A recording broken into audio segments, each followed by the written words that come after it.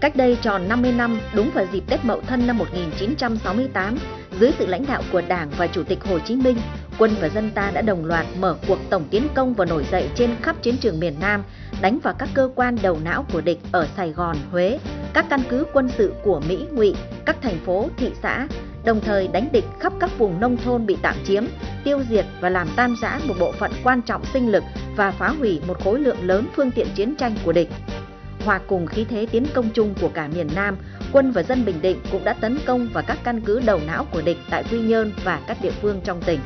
Cuộc tổng tiến công và nổi dậy Tết Mậu Thân là thắng lợi có ý nghĩa chiến lược cực kỳ quan trọng, tạo ra bước ngoặt của cuộc chiến tranh, đánh dấu sự thất bại cơ bản chiến lược chiến tranh cục bộ của đế quốc Mỹ, buộc chúng phải chuyển sang chiến lược phòng ngự trên toàn chiến trường, xuống thang chiến tranh, bắt đầu rút quân về nước, chấm dứt không điều kiện chiến tranh phá hoại miền Bắc, chấp nhận đàm phán với ta tại hội nghị Paris về việc chấm dứt chiến tranh, lập lại hòa bình ở Việt Nam.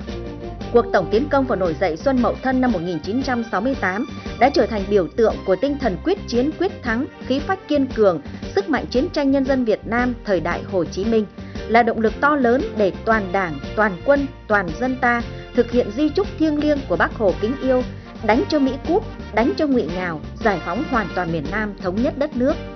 50 năm đã trôi qua, nhưng tinh thần quyết chiến quyết thắng của cuộc tổng tiến công và nổi dậy Xuân Mậu Thân năm 1968 vẫn đã, đang và sẽ tiếp tục cổ vũ mạnh mẽ toàn Đảng, toàn dân và toàn quân ta vượt qua khó khăn thử thách, tranh thủ cơ hội mới, phấn đấu sớm đưa nước ta cơ bản trở thành nước công nghiệp theo hướng hiện đại, phát huy cao độ tinh thần yêu nước, ý chí tự lực tự cường, năng động sáng tạo, chúng ta nhất định sẽ thực hiện thành công mục tiêu xây dựng đất nước Việt Nam dân giàu, nước mạnh, dân chủ, công bằng, văn minh, vững bước đi lên chủ nghĩa xã hội.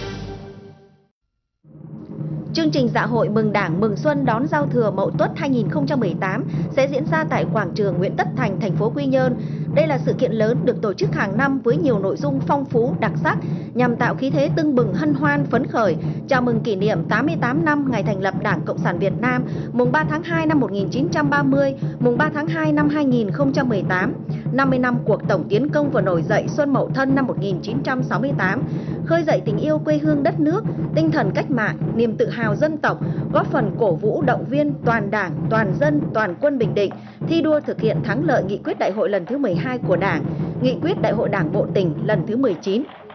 Chương trình dạ hội mừng Đảng mừng Xuân đón giao thừa Mậu Tuất năm 2018 sẽ được Đài Phát thanh và Truyền hình Bình Định truyền hình trực tiếp trên kênh VTV bắt đầu từ 21 giờ ngày 15 tháng 2 năm 2018, tức 30 tháng Chạp năm Đinh Dậu. Mời quý vị và các bạn chú ý đón xem.